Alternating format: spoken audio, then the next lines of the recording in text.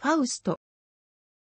ファウスト、ファウストは、シャルル・グノーが作曲した前後幕のオペラ。ドイツの文豪、ゲーテの劇詩、ファウストを題材にしている。清らかな住まいや、金の子牛の歌、宝石の歌などをはじめとするアリア、第5幕で踊られるバレエ音楽は非常に有名で、単独で演奏会や録音で取り上げられる機会が多い。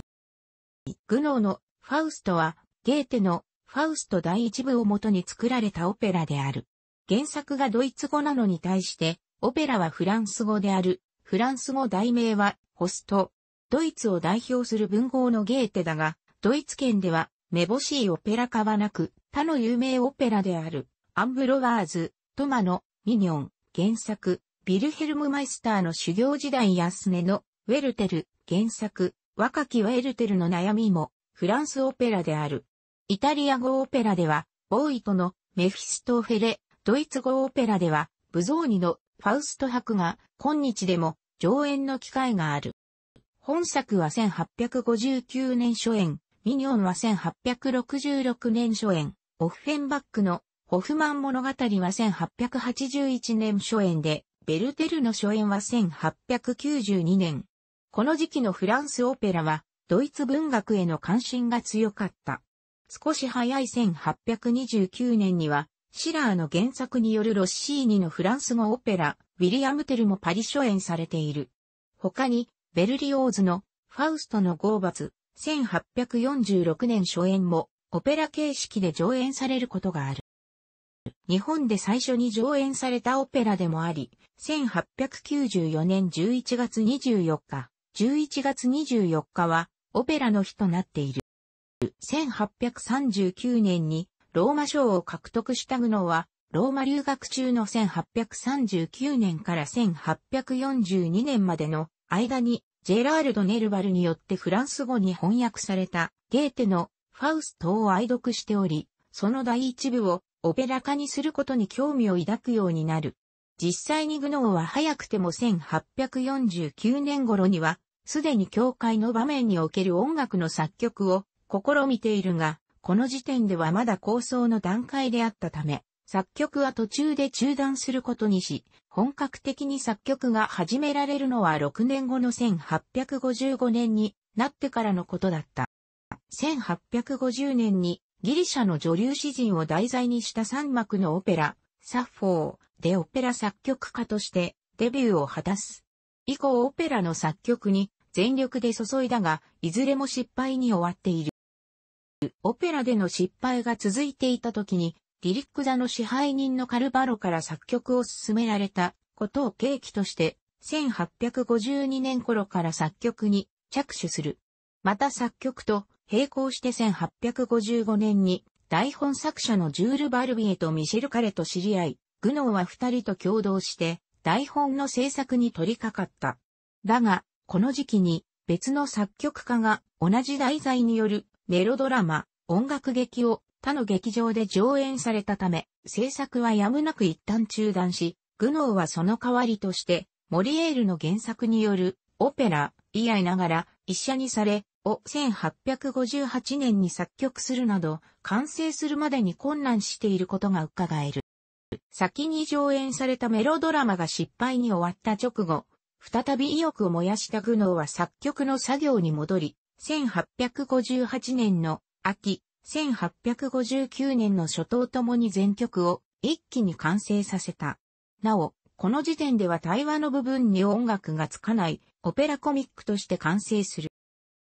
初演は1859年の3月19日にパリのリリック座で行われた。当初は好評を博すことができず失敗したが、上演されるたびに人気を高めていった。ドイツやイタリアでも好評を博し、徐々に成功を収めていった。初演を見たベルリオーズは、この作品が近い将来に必ず大成功する日が来るに違いないと好意的に評価した。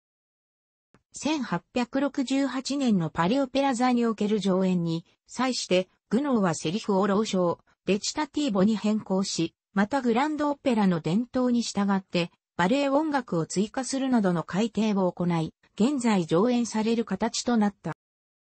1965年にメトロポリタン歌劇場で、ジャン・ルイ・バローによる新演出で上演された際は、かなりの好評を受けて迎えられた。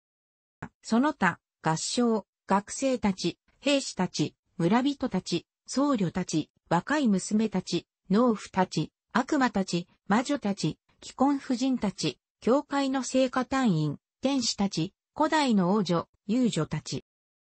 全幕で約3時間10分。各幕では、第1幕30分、第2幕30分、第3幕50分、第4幕45分、第5幕35分。ただし、第5幕は、バレエ、ワルプルギスの夜を含める4幕1話、及びバレエ、ワルプルギスの夜を省略して上演することも多い。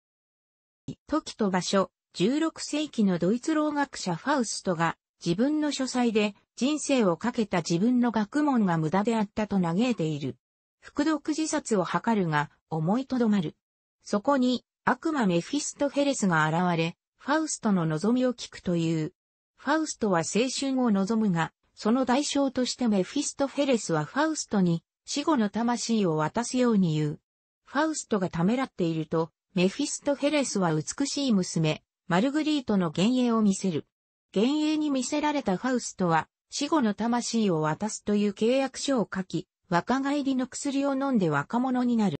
とある村で、マルグリートと村人たちが、賑やかに合唱している。今日は、マルグリートの2位、バランティンが出生する日。バランティンは、ジーベルと、ワーグナーらに、マルグリートを頼む。その中にメフィストフェレスは入っていき、金の子牛の歌を歌う。その後、メフィストフェレスは悪魔であることがバレ、退散する。一方でファウストはマルグリートに恋心を抱く。ジーベルはマルグリートに花を贈ろうとするが、メフィストフェレスの計略により、花はすぐに枯れてしまう。それでもなんとか、花輪を作り、それをマルグリートの家の玄関に置き、立ち去る。そこにファウストとメフィストフェレスが登場する。ファウストは、この清らかな住まいを歌う。メフィストフェレスが用意した宝石入りの小箱を玄関に置いて二人は立ち去る。マルグリートがトゥーレの王を歌いながら登場。玄関に置かれた宝石を見つけ驚き、身につけながら宝石の歌を歌う。マルトが現れ、宝石について話している時にファウストとメフィストフェレスが登場する。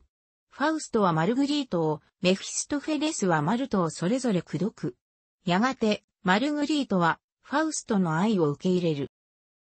ファウストは、マルグリートの元から去り、マルグリートは糸を紡ぎながら恋人を待っている。彼女は、ファウストの子供を身ごもっていた。マルグリートは、教会で祈るが、悪魔たちの合唱がマルグリートを包む。バランティンが、軍から帰ってきて、妹の変わり果てた姿を見て怒る。ファウストとメフィストフェレスが登場。マルグリートの家の前でファウストは、後悔に苦悩するが、メフィストフェレスは、眠ったふりをせずに応対、不気味に笑う。バランティンはファウストに決闘を挑む。しかし、悪魔の力を借りたファウストに負け、バランティンは死ぬ。ファウストはメフィストフェレスに連れてこられ、ワルプルギスのシュチニクリンの騒ぎの中にいる。次々に美女が現れ、踊る。しかし、ファウストはマルグリートを忘れられず、マルグリートの幻影を見る。ファウストがマルグリートのところへ戻ると、マルグリートは生まれた子供を殺した罪で牢獄の中にいた。再会したマルグリートとファウストは喜び、愛の二重唱を歌う。しかし、マルグリートは気が狂っていた。ファウストとメフィストフェレスは、牢から逃れさせようするが、マルグリートはついていこうとしない。マルグリートが神に祈ると、天使たちの合唱が聞こえ、マルグリートは神のもとに救済されてゆく。現在広く知られているバレエ音楽は1869年のオペラ座での上演に際し、当時のフランスオペラの慣例に従って第5幕に追加されたものである。7つの部分で構成され、各曲は切れ目なしで演奏される。全曲の演奏時間は約16分から約20分。アリアやバレエ音楽と共に広く知られる、このワルツは第2幕の終結部においてファウストがマルグリートに近づこうとする場面で演奏される音楽である。単独でもしばしば演奏される。演奏時間は約5分。ピアノ、バイオリン、合唱曲にも編曲されており、ピアノ独奏版はランゲ編曲やリスト編曲などが存在する。楽しくご覧になりましたら、購読と良いです。クリックしてください。